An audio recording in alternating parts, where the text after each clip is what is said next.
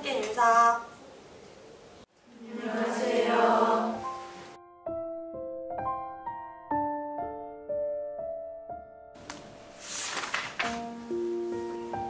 다 왔죠? 빠진 사람 없죠? 네.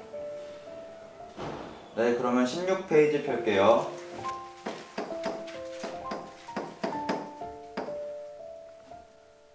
계절이 지나가는 하늘에는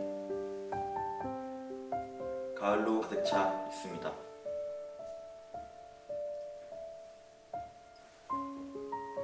나는 아무 걱정도 없이 가을 속의 별들을 다 헤일 듯 합니다. 가슴 속에 하나 둘 새겨지는 별을 이제 다못 해는 것은 쉬이 아침이 오는 까닭이요 내일 밤에 남은 나의 청춘이 다하지 않은 까닭입니다.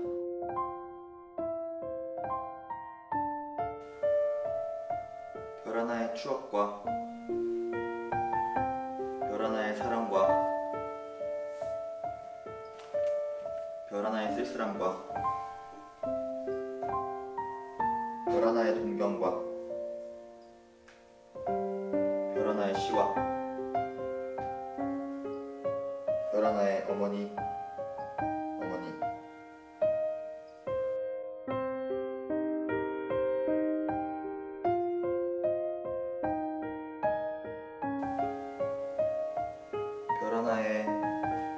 얘들아 얘들아